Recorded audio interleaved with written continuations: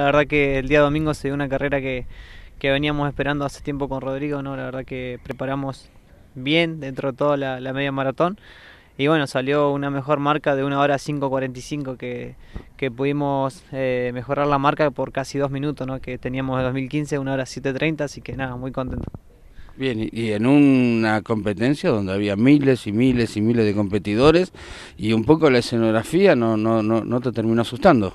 Sí, no, bueno, la verdad que 22.000 participantes, creo yo que nunca había visto tanta gente en una carrera. Este, la verdad que eran muchísimos, pero bueno, eh, nada, contento como te digo porque preparamos bien la media y gracias a Dios se nos, se nos dio el resultado que fuimos a buscar, que, que la idea siempre desde entrada fue revalidar el título que habíamos logrado en el 2015 y tratar de mejorar la marca. Eh, como ya te lo conté anteriormente, pude mejorarla, así que vuelvo muy feliz y muy contento ya terminando mi, mi participación lo que, en lo que sería esta categoría, ¿no? Eh, último año en la categoría sub-23, así que con, con el mejor resultado.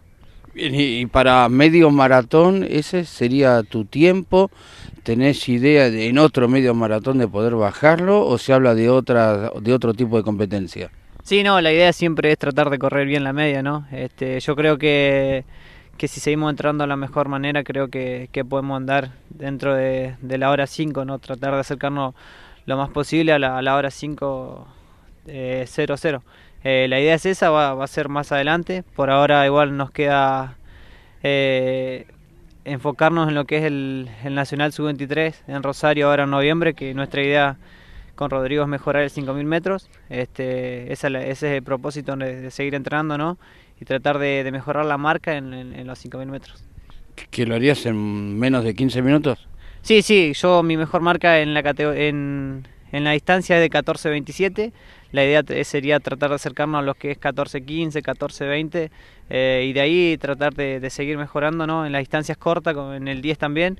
Y bueno, y tratar de llegar de, el año que viene de la mejor manera para, para enfrentarnos ya a la categoría mayores, ¿no? que, que es donde empieza lo bueno. Como última reflexión, digamos que los dos argentinos que estuvieron delante tuyo en esta competencia del medio maratón en Buenos Aires fueron dos atletas olímpicos.